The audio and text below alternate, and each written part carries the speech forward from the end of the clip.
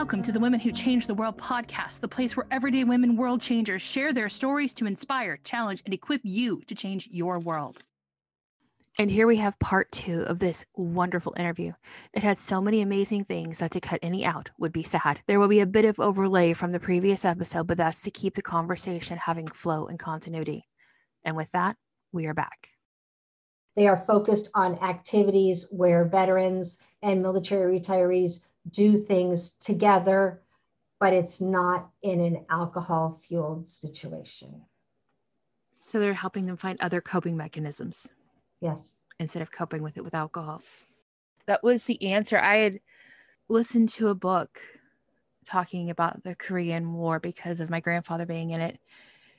And it was interesting the that as the soldiers came home, the um the previous soldiers, the soldiers from World War II, were there for them mm-hmm. when they showed up.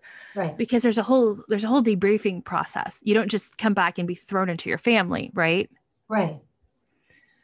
In my naivety, I thought it was just, oh, tell us everything you learned over there, and that's the end of it. But there's more to a debriefing process, at least I hope, in that. And I thought it was kind of like what you're doing, but apparently it's not that either because you said it was just here here's here's how to wear a suit how, here's how to write a resume here's how to do a whole thing with linkedin and those are important. But they have to come back and be normal people with a f- wife and kids or even if they don't have that yet. How to be a normal person and not be somebody who's constantly on guard. Right. Um and that has to i mean there, there's See, the trauma you have to understand that there's no return on investment for the United States government for them to do that. Because, see, as much as we don't like to think about it, money drives everything. And the reason why transition programs exist for the Department of Defense is because in the civilian workforce, every paycheck that you get there's money taken out of it that goes into the state unemployment fund. Each company puts money into the state unemployment fund. And when somebody becomes unemployed and the state unemployment fund gets tapped, that's the money sitting there. When you leave active military service, if you have retirement income, then you have that coming in. You're not eligible in general for unemployment wherever you are. But if you leave active military service without retirement income and you can't find a job in your community right away or the community where you move to, then you can file for unemployment. The problem is, is that you didn't put any money into that. The government didn't put any money into that. And so then you're using up everybody's money in the state that's already paid into it. So the states got smart and they filed they started a process of filing with the federal government. Hey, we want this money back. We gave this veteran so much money. We want this back from you.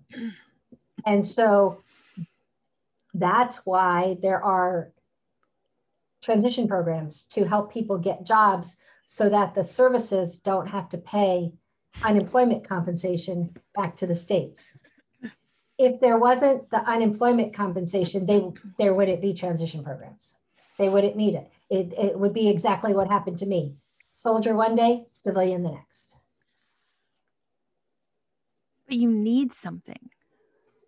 Yes, but, you, you what, but, but what drives everything for our government, and legitimately so, because of, you know, we pay taxes into it, we want to see the money go to good things, is that there's no money to be made for the government in taking time out to help us reverse that mindset thing.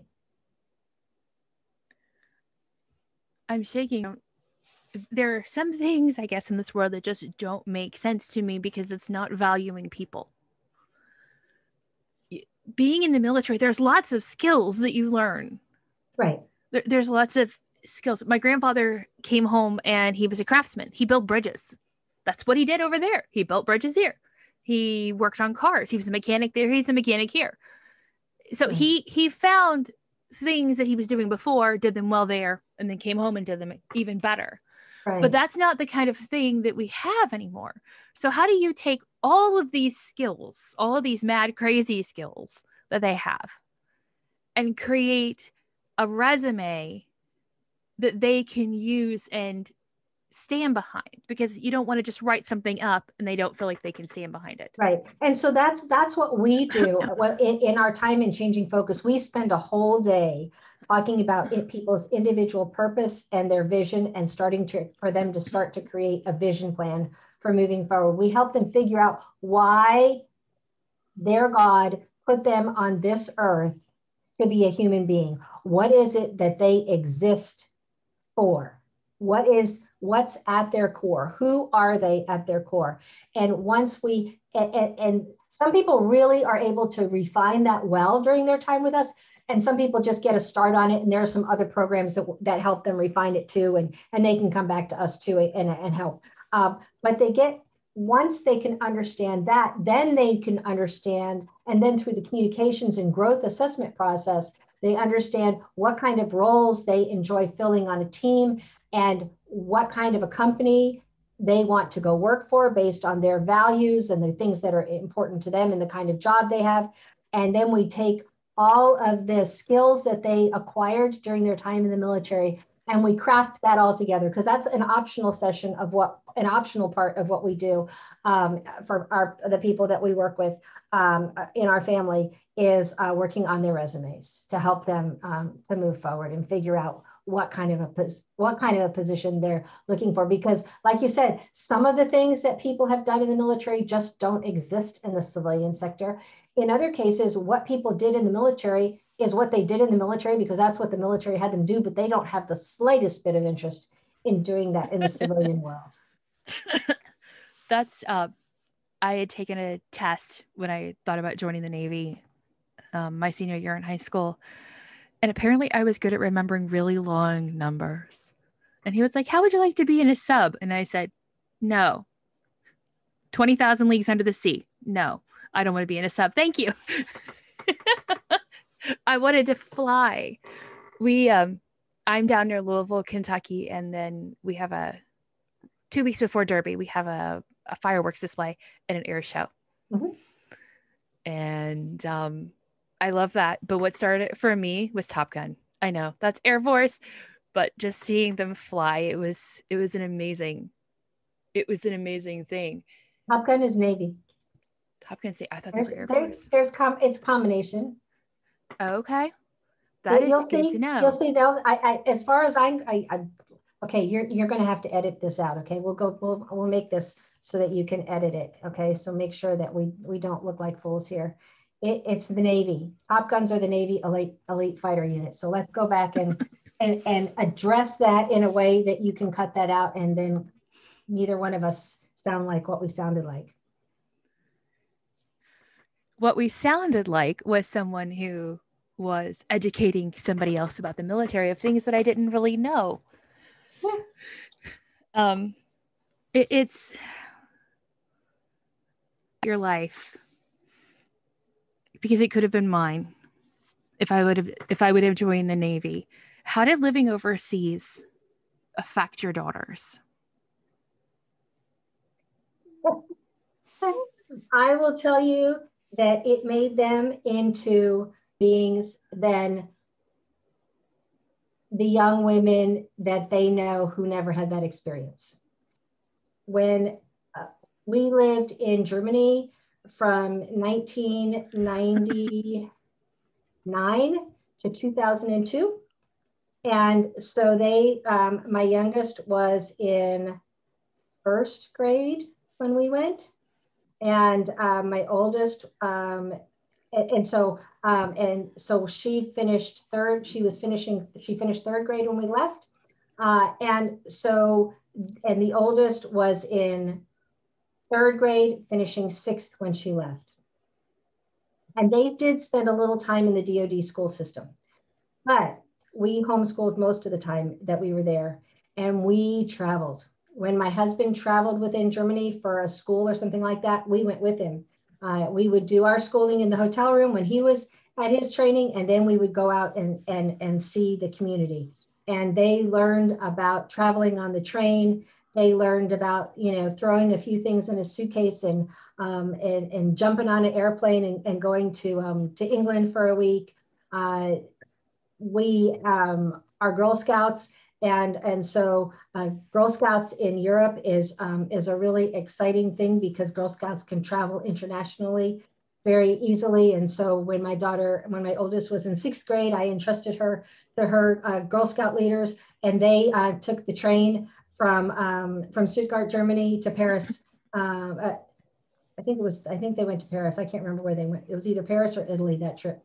Um, and so uh, we went skiing um, in, in different places, camping in different places. And so they became very self confident um, about being in new places and about talking to people uh, that they didn't know. They were in, they were in a dance school where the only other American schools, uh, children in it were the two girls that lived across the, the hall from us. And so they had uh, dance instruction from a top um, ballerina who um, was uh, Romanian by birth uh, and um, spoke no English, and she uh, would tap them on the butt and move their feet into and move their legs and feet into the right position. And they would watch the other girls, and they learned that that's okay, that you can that you can do that. So uh, it it really helped to shape them who, into who they are. I can imagine. I can imagine a life of travel. My I, I have friends who have laughed at us because in um what was it in 17 years we moved 14 times and people were like are you military? No we just move a lot. We just move a lot. It's a um, we my kids have learned to pack and and get rid of things. You you've learned to do that when you move a lot. Yes. You had mentioned about legos and painting when you have your sessions. Why do you use those? We use the legos uh, as a tool to help people um, describe their themselves for who they are and who they're becoming. And it turns out that painting is a very good metaphor for transition. Because in order to paint, or for them, I would say that I'll start out by saying, I'll preface it by saying that most people who come through our program have never been to a paint and sip place before. They haven't done more than paint by number.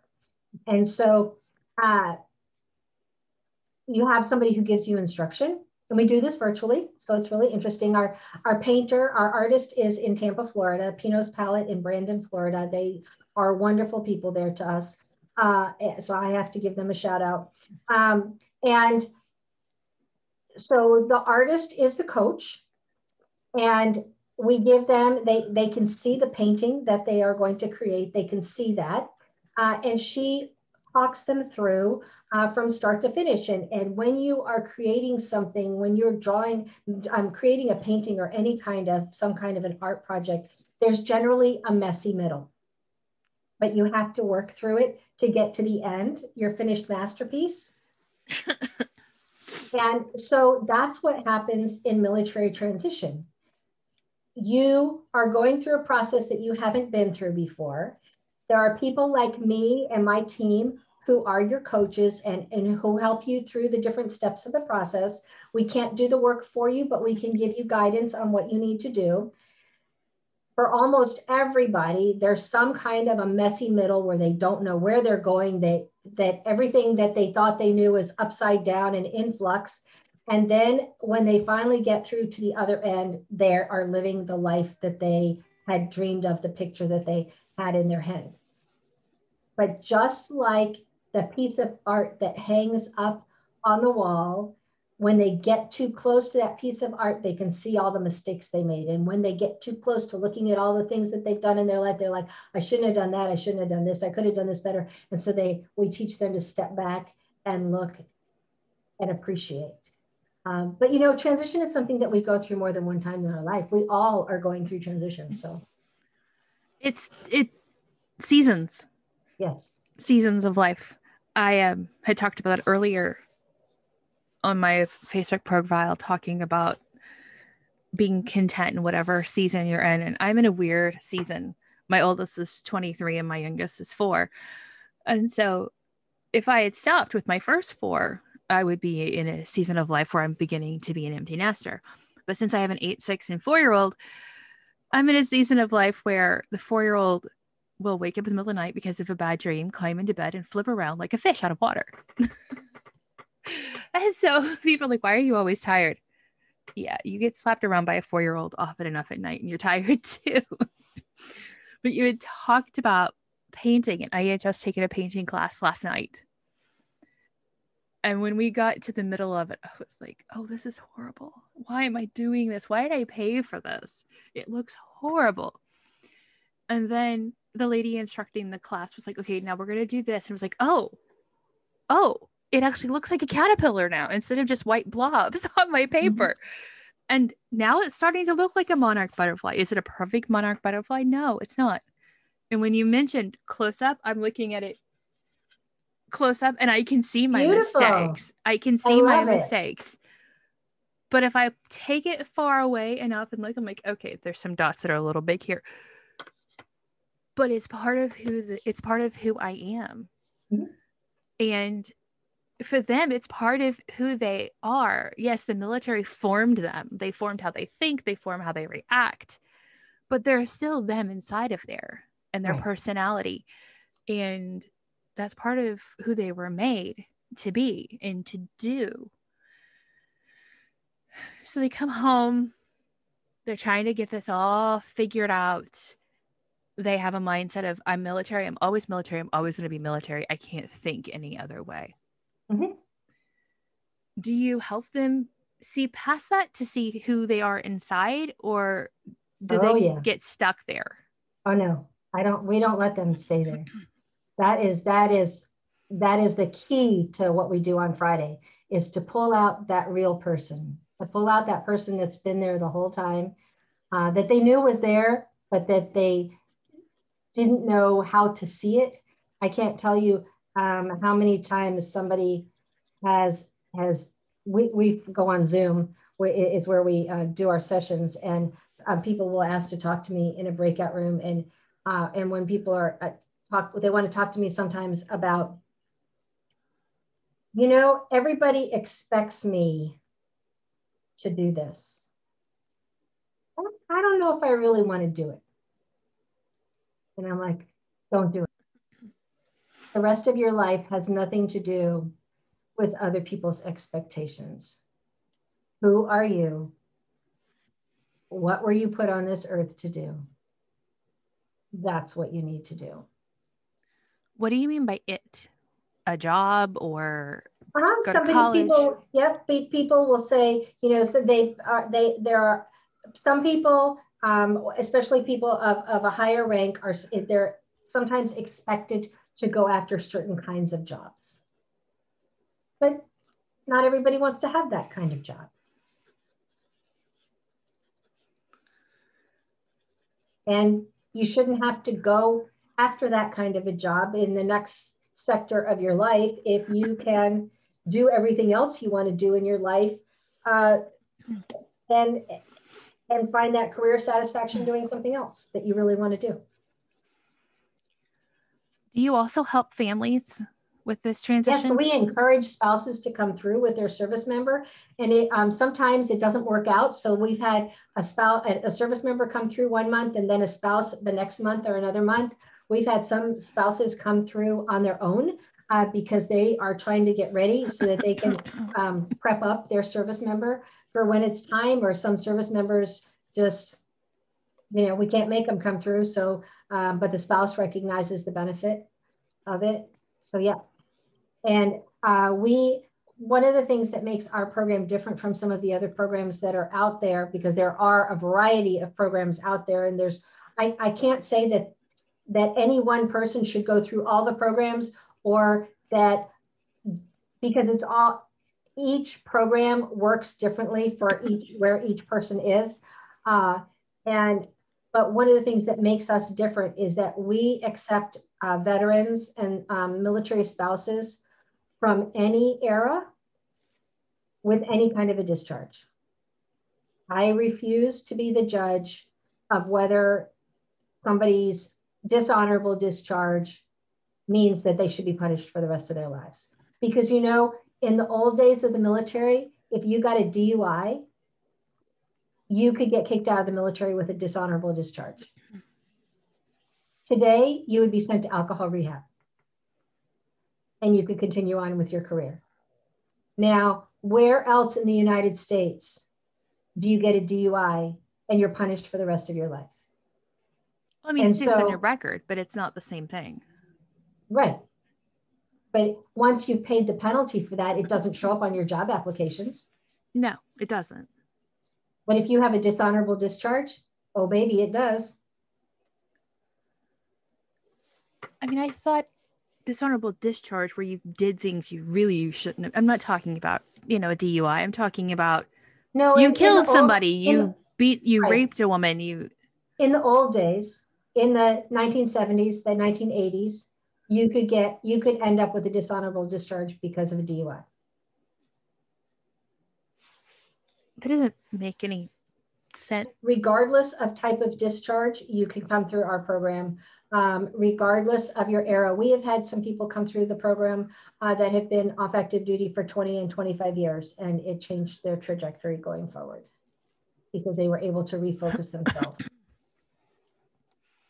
I have um, my actually my best friend, her husband retired recently mm-hmm. from the army, and his transition's been difficult because that's all that's all he's done. It's 20 years 20 years of doing the exact same thing. And now what? It's the um and i think that works away, that way a lot for men in general. I've done this for 20 years. Now what i'm what am i supposed to do? And one of the things i learned about with retiring with my grandfathers and things like that is that men who retire and don't have anything to do they die earlier. So do the women. Because so they, it affects the women the same way. It affects everybody.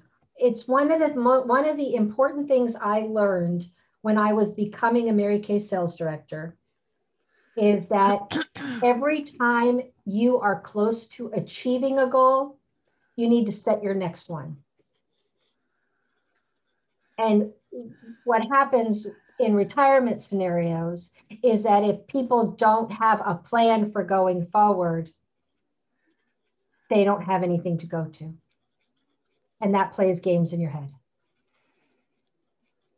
What if I'm done? What if I'm washed out? What if I'm I've done everything? There's nothing left for me to offer. I don't believe that. But that's the kind of thing that they they come to you with, right? I haven't I haven't had anybody come to me like that. Um, I would I would just remind them what my my I would say what John Maxwell would say, and that is okay, if you really are done, it's time for you to just get in the box and we'll cover you over. I want you to, uh, what I tell people is to think about a tree. A tree is living and growing, and plants in general are living and growing until they are dead.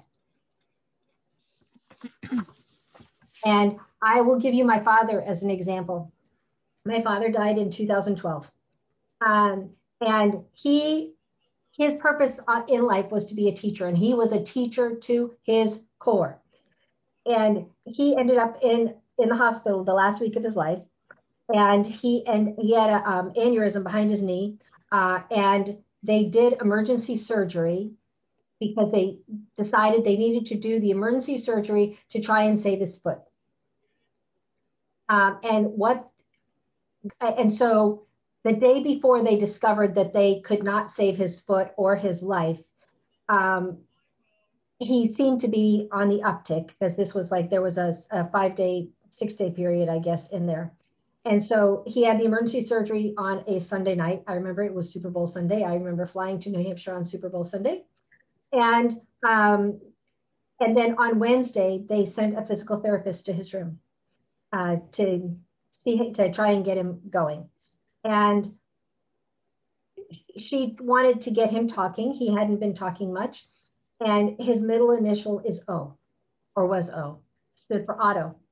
And he, my dad was born in Germany. He left Germany because of Hitler. His family was hmm. Jewish. The last 15 lucid minutes of my, my father went on to live until Saturday night. Wednesday afternoon, the last 15 lucid minutes of my father's life, he taught that physical therapist about Otto von Bismarck because that's who he was named after. My mother and I looked at each other like, oh my gosh. And he, and my, he said nothing intelligible the rest of the time that he was alive. But that was because the next day, really, he started the dying process. I was living until he was dying. And that's what we all do. And so if somebody comes to me and tells me that there is nothing wrong, I'll say, okay, let's go get the box. And if you're not ready to step in that box, then we can find something for you to do. On the butt, it's like, wake up, pay attention. And I love it because you come out of that. I mean, my my husband's 50 and retirement, you know, is 15, 20 years down the road. And I'm already talking to him about you need to have a plan. You need to have an exit plan. What are you going to do when you're no longer an engineer? And you know, you are you are really um, you are really a good wife to, to do that because I will tell you the biggest thing that's wrong. I shouldn't say the biggest thing that's wrong with the United States military.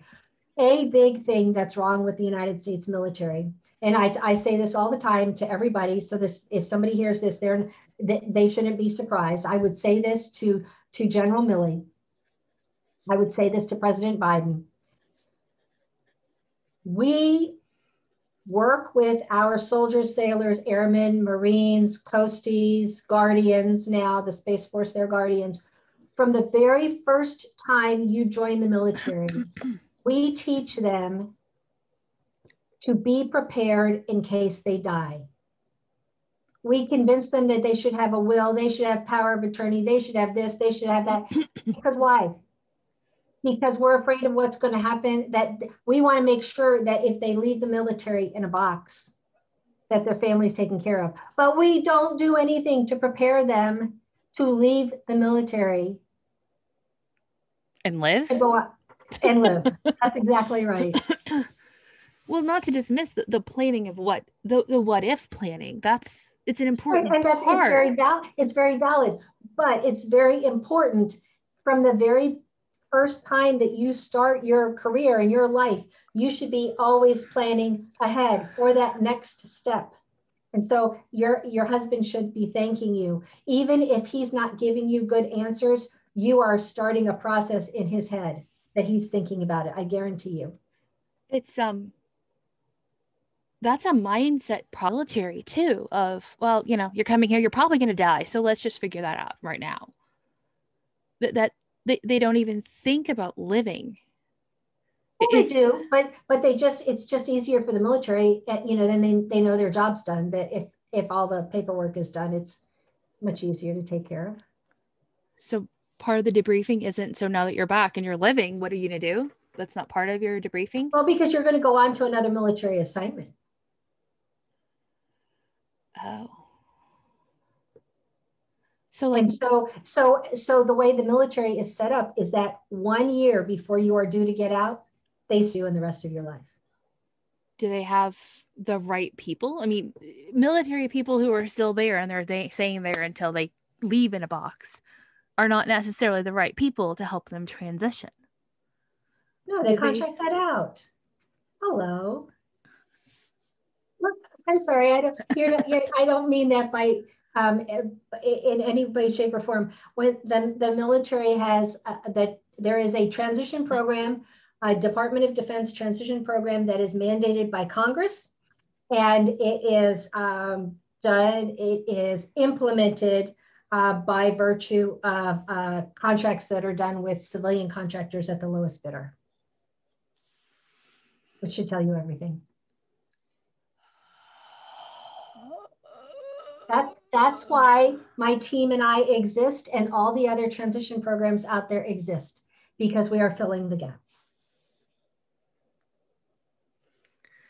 And, and I will tell you that five years ago, I had no idea. I, I had an idea of how the gap, how big the gap was because I work every day. I see how much bigger the gap really is, and uh, and so what we um, have to do uh, is to educate our um, our legislators on um, in uh, both on the local level, on the state level. I shouldn't be both. Uh, that's poor grammar from coming from a homeschool mom, particular particularly. Uh, we need to educate our local, our state, our um, our federal legislators about the the importance of uh, helping veterans move into the civilian sector well. The, the reason, and, and some people will ask, why should veterans get special treatment? And the reason why, because some people look at it that way, the reason why uh, is because number one, because they did sign that blank check uh, to us um, being willing to put their lives on the line. But second of all, the vast majority of them have never had a civilian job before. They don't know how to write a resume. They don't know how to go, how to do a job interview.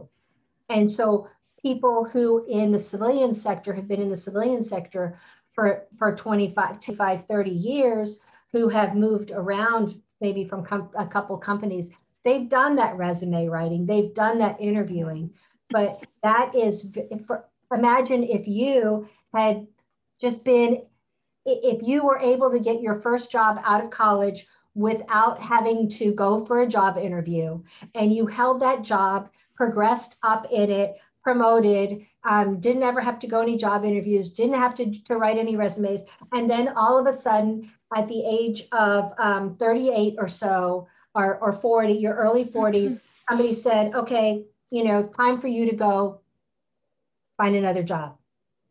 Mm-hmm. That's exactly what we're asking our military people to do. You'd be like, what do I do? Mm-hmm. You'd be feeling like that, like that high school senior that's not going on to college or tech school, that's out there looking for a job. You'd be like, what do I do? And and for a, a man or a woman who has a family who's dependent on them um, to for support, that is major stress. Well, and they the military is some of the best team players out there. I mean that that's what they do.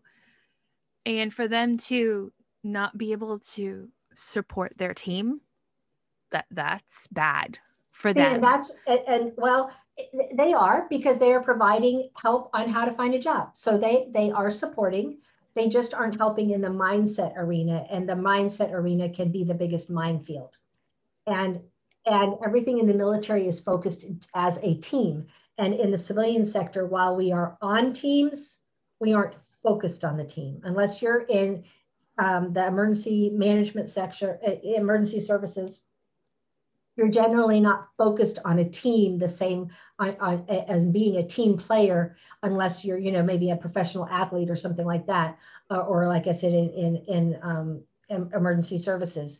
And so we have to teach people to, to look at the mindset of putting themselves first and then serving on a team.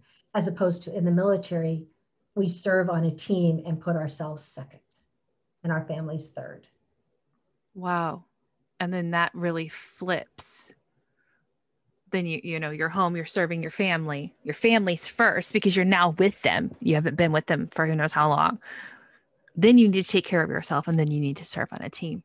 It completely flips everything that they've been doing but i'm going to flip years. it back at you i'm not going to flip it i don't want you to flip it that way i'm going to tell you what we tell our service members and spouses that come through our cohorts that come through our program when you fly and the flight attendant gives you a briefing. Yes. And so in the civilian sector, we don't teach them to, to put their family first. Put yourself first, put your family second, and then your career. Because if you can't take care of yourself, you can't take care of anyone else. That's what I teach as a as a self-care coach for women is taking care of themselves first and creating that balance. Mm-hmm. and so that makes sense. I guess I was thinking of from the perspective I've been away from my family for so long. and now I need to take care of my family. But, but if you don't take care of yourself, you can't take care of your family. Yes. Doesn't matter whether you're male or female. Which is why we need programs like yours to teach them to take care of themselves. And while I, as a civilian, can come in and say, you need to take care of yourself, it's not the same thing as somebody who's been there and knows and understands the drilled in mindset. I guess you have to have to survive to do what you're doing. It's it's a it seems to me it seems like it's a mindset that you have to think this way in order for us to survive. Is that right? Yeah, because you know, in the way in the military, you are trained to um, to defend our nation, um, and so that means ultimately you are trained to go to war. Should that be the case, hopefully that's not ever the case. And so you we we train people to do that, um, but that is, I don't know whether that's you know I, am not sure. I understand. So, how can everybody reach you? We are at leadertransitioninstitute.org and we are on Facebook, we're on LinkedIn, we're on Twitter, we're on Instagram. Spread a little thin in all of the places. We're, we're, we're heavier on, uh, on LinkedIn um, and, um, and Facebook than we are on Twitter and, um, and Instagram, but we are there. Uh, and we uh, would love to serve you. We'd love to serve your family members. Uh, and uh, that's, we, we exist to serve. Our, uh, the Leader Transition Institute is a 501c3. I created that as an umbrella for changing focus, moving from we to me, because when we did our very first session back in July of 2018, people at that session told me that first responders and teachers need to go through something similar. And so that's why we created the Leader Transition Institute so that we could have a bigger umbrella to put some other programs to serve, to specialize um, for other people who need us in the future. Well, that's all I have for you guys today. Thank you so much, Annie, for your time. I appreciate it. I am so thankful for you and I respect what you're doing for stepping in and helping people have a life after giving everything that they have given. I will have links in the description so that you can get a hold of her if you yourself are in that transition or you have someone you love that's in that transition. Contact her, get the help you need to get the life that you deserve to live after doing all that you have done. There is a reason you're still here and the world needs you just like Annie talked about with herself after she was done switching over, there was a reason she was still here. And that reason is to serve, which is what we're all made to do. We're all made to serve in some form or fashion. Thank you for your time today, and I will talk to you guys soon. Bye.